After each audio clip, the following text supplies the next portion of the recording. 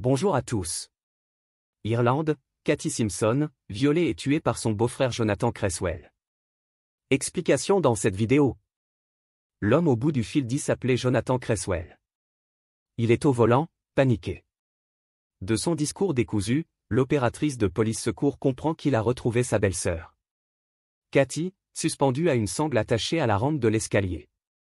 Une tentative de suicide, en somme. La jeune femme, inconsciente, est désormais sur sa banquette arrière. Pied au plancher, il la conduit aux urgences. Elle ne respire plus. Explique-t-il. Enfin, je crois. Comprenant l'urgence de la situation, l'opératrice lui demande de s'arrêter sur le bas-côté pour tenter un massage cardiaque. Elle entend Cresswell tirer brutalement sur son frein à main. Quelques secondes plus tard, il crie, il ne se passe rien. Si ça se trouve, je ne fais qu'aggraver la situation. L'opératrice lui explique du mieux qu'elle peut les gestes à enchaîner, et transmet ses coordonnées GPS au service de secours. Une ambulance arrive très vite, et découvre une toute jeune femme en détresse absolue. Son cœur s'est arrêté de battre. Un massage cardiaque sérieux permet de le faire repartir, mais il faut la transférer en réanimation sans attendre. À son arrivée à l'hôpital d'Altnagelvin, petite ville de l'Irlande du Nord, Cathy Simpson, 21 ans, est plongée dans le coma. Nul ne sait si elle va s'en sortir. Pour tous ceux qui connaissent Cathy, la nouvelle de sa prétendue tentative de suicide paraît incompréhensible. Originaire du sud du pays, cette pétillante blonde n'est pas du genre à broyer du noir. Passionnée d'équitation, Cathy a toujours rêvé de devenir cavalière professionnelle et s'apprêter à y parvenir. Pourquoi aurait-elle tenté de se donner la mort? Et puis Cathy était très entourée.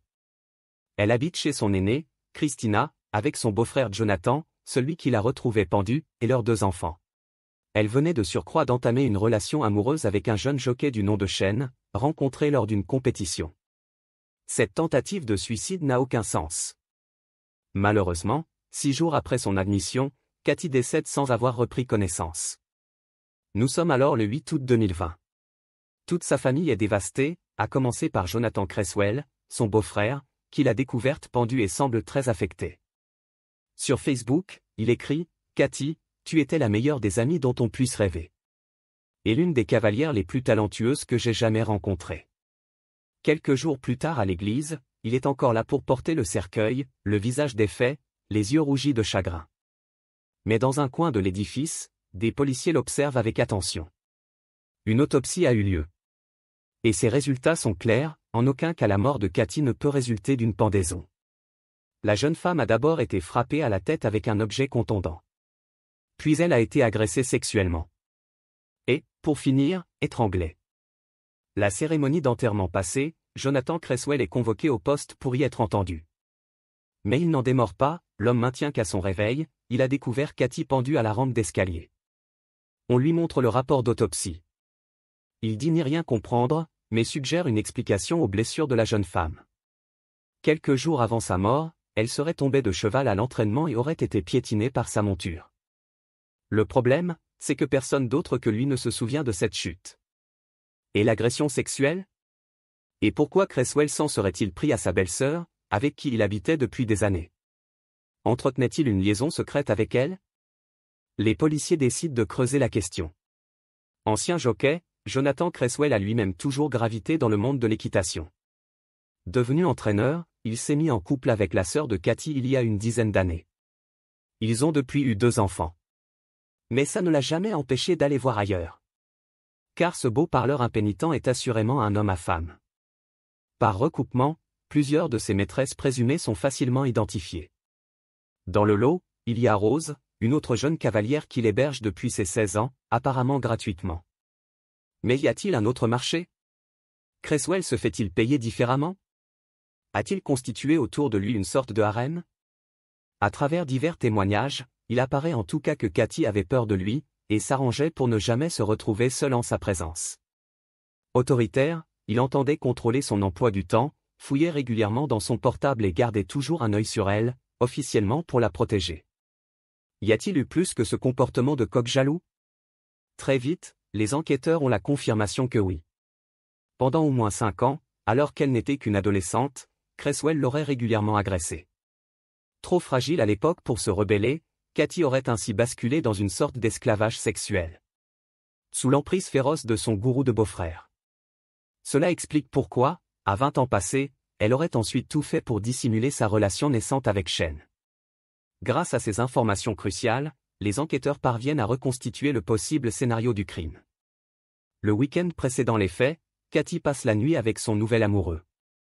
Le lendemain, Cresswell la prend et entre dans une rage folle.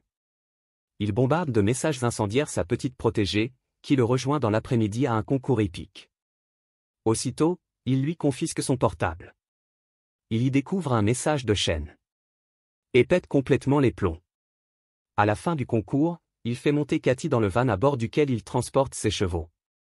Et c'est probablement sur le trajet du retour qu'il la viole et l'étrangle, la laissant à moitié morte à l'intérieur du véhicule. Puis le lendemain matin, une fois sa femme partie au travail, il revient la chercher et met en scène ce simulacre de suicide. Mardi 23 avril 2024, quatre ans après les faits, Jonathan Cresswell se présentait libre devant la Derry Crown Cour de Coleraine. Avec une ligne de défense inchangée, il n'a rien fait, Cathy se serait suicidée. Mais dès les premières minutes d'audience, une douzaine de ses ex sont venus le démolir consciencieusement. Tout ont décrit à la barre un homme violent, manipulateur et pervers. Un soir, raconte l'une d'elles, je suis rentré à la maison et ça sentait très fort l'eau de Javel. J'ai cherché d'où ça venait, il en avait rempli la baignoire. Il m'a sauté dessus et a essayé de me plonger dedans. Mais c'est là que quelqu'un a frappé à la porte. Il est descendu ouvrir en m'ordonnant de ne rien dire. J'ai obéi, je suis restée silencieuse. Et quand il est remonté, il ne m'a mis qu'une simple raclée. En entendant ces mots, Cresswell a-t-il compris que son procès, prévu pour durer jusqu'à six semaines, avec plus de 70 témoins cités, était perdu d'avance? Probablement. Le lendemain matin, mercredi 24 avril, il était retrouvé mort à son domicile. Un vrai suicide, cette fois, du moins, jusqu'à preuve contraire. L'homme aura préféré fuir plutôt que d'assumer son crime. Une sortie que d'aucuns jugeront à la hauteur du personnage.